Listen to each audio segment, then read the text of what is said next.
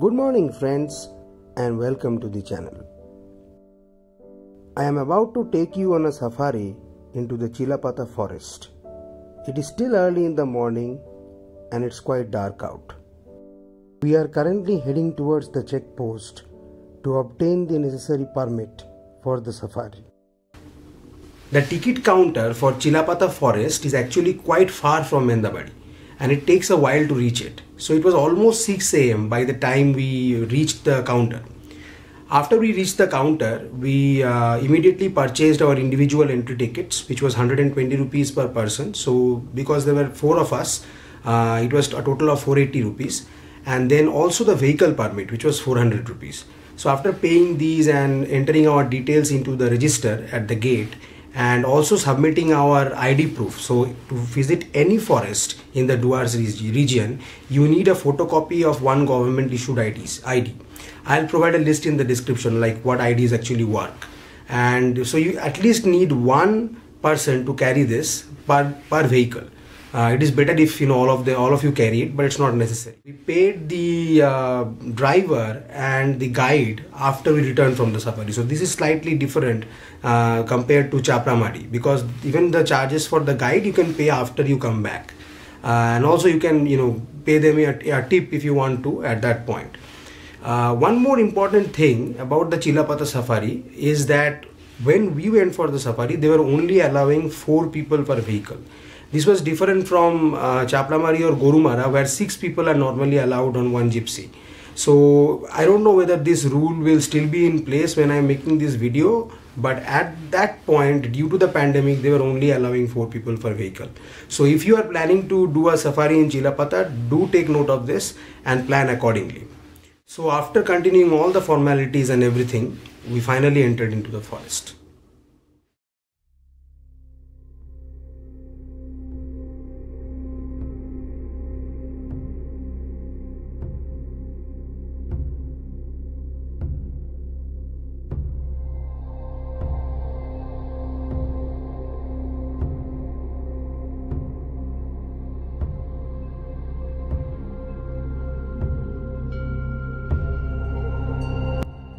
The Chilapata forest contains a lot more dense vegetation compared to the Chapramari Wildlife Sanctuary or even the Gorumara National Park. Due to this reason, the interior of the forest is very dark even during the day. This gives the forest a completely different kind of ambiance and makes the safari all the more thrilling. The thick undergrowth and the dense vegetation also makes it a lot more challenging to spot wildlife. The Chilapata forest is also unique for another reason. It is home to an archaeological site that dates back to the Gupta period. This site is popularly known as the Fort of the Nol King or in Bengali Nol Rajar Garh.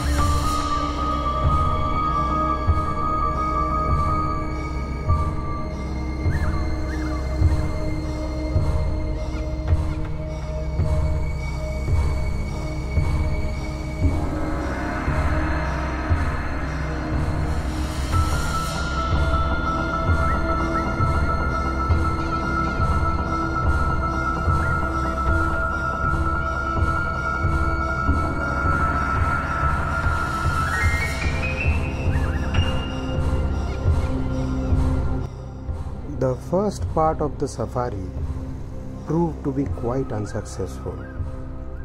We spent almost an hour driving around the different safari trails of the forest but did not spot any signs of wildlife. Slightly disheartened, we made our way to the Mendabari watchtower. So we are currently at the Mendabari watchtower and we encountered this dancing elephant. I'm not sure why the elephant is doing that, but I haven't seen this before. The watchtower itself is closed because of the COVID situation, so there is no way to climb it. Just after leaving the watchtower, we came upon a large herd of Indian bison or gaur.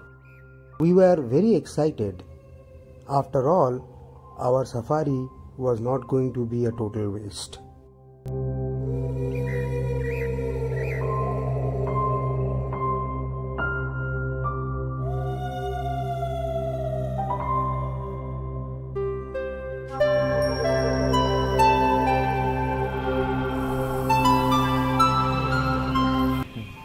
Are at Chilapata, Chilapata forest and as you can see on the road in front of us we have a herd of Indian bison also known as gaur.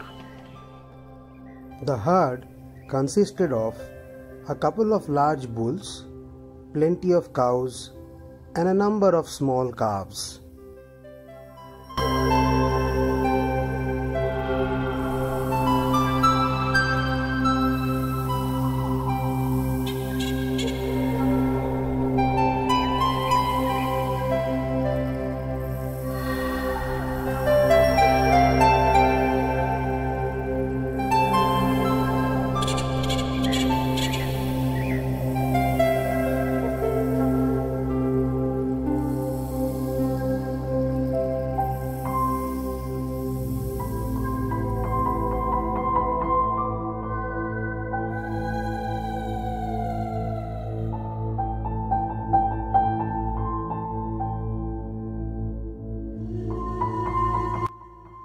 The Chilapata forest is home to a very large population of the Indian bison or gaur. Hence, sightings are quite common. Apart from the Indian bison and the Indian leopard, which is also widespread, the forest acts as an important corridor for the Asian elephants. This is due to the strategic location of the forest between the Buxa Tiger Reserve to the north and the Jaldapara Wildlife Sanctuary to the south.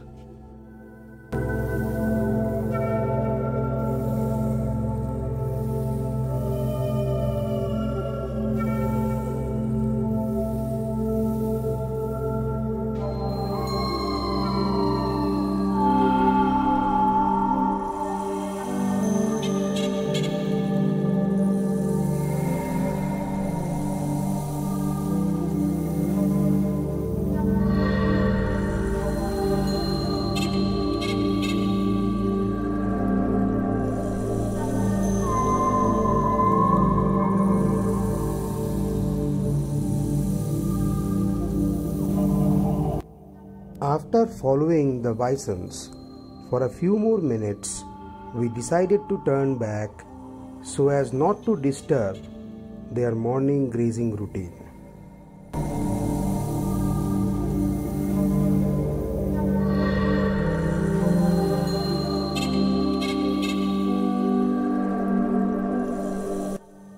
So that is all from the Chilapata forest. If you enjoyed this video, Please like, comment, share and subscribe to my channel. And also do not forget to press the bell icon to receive notifications of future videos. I hope all of you had a really Merry Christmas and I wish you all the best for the year ahead.